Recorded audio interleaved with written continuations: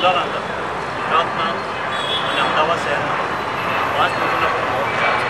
ખાસ કરીને લોકોના અંદર એ છે કે અરે મોબાઈલ ભારત દેશના ટ્રેનમાં આવો લોકોની સામે એટલે પૂરું વિશ્વના અંદર આજે જ્યારે આતંકવાદીઓ આવી રીતે